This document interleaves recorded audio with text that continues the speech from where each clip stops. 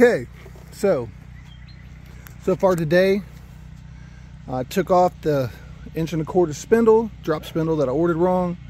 I took the factory one, put it back on here, and I put my tires and wheels back on.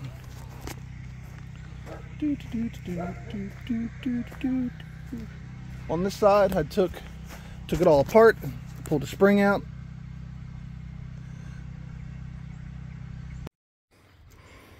First bass ever on a glide bait. Renee Wilson, you will be proud. Think about that.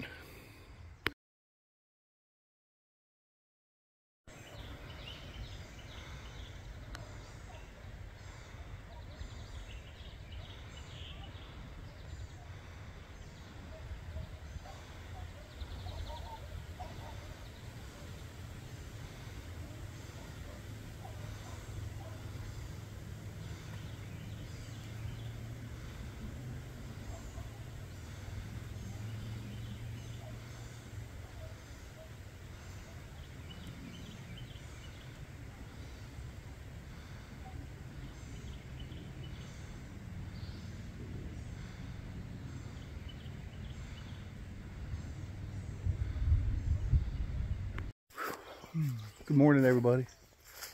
It's nice and early. At 8 o'clock, we're coming down here to my favorite little place in my neighborhood. I like to fish.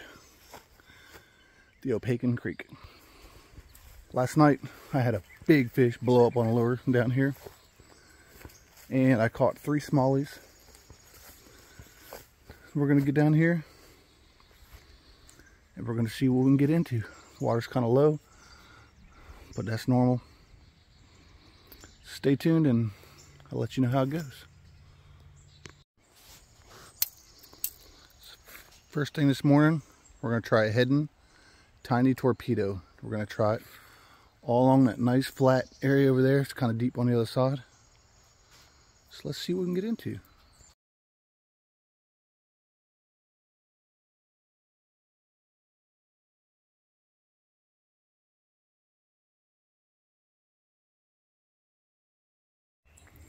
It's a nice 12 inch bass, a Z-Man crawl. Nice fight. I pulled the spring out. I took the new stock spring and put it in its place. And I put everything together except for, I didn't put the caliper back on here. I didn't put the dust shield back on here. I didn't put none of the cotter pins back on the tie rods and the ball joints. I didn't because I'm getting ready to take it all apart again and put the new spindles in that I had to order the other day. The other day. So they'll be here on the 12th. Till then, the next project, I decided I would go ahead with the shifter and I was just been trying to figure out where I was going to mount it. see I got the stand right here that goes with it. And I'm going to set it where I want to have it so it's not so close to the dashboard where I I hit my hand when I throw it up in park or anything like that. And so I got to pull the carpet back, drill some holes, you know, mount all that crap. But that's, today it rained. I took off this morning, went fishing, caught some fish. I'll even put them in the video if you want to see them. Because it's not just trucks I do around here. It's adventures. Adventures on my boats, my kayak, and everything else. But it's getting there. Like they say, Chevrolet is by sitting under the shade tree. Best thing I could have done. Best thing I could have done because now I can work on it when it's hot outside and not get all burned up. So, so Summit, I order all my parts from Summit. I just got some more in here the other day. I got my new distributor. I got my spark plug wires. I got my wire looms and I got an RPM tach for this truck. Because you know with these flat tappet cams, you're supposed to run it at 2,000 RPMs for like 10 minutes to break it in. So I didn't have a tach, so I had to get one. Yeah, I had to get one. Money pit.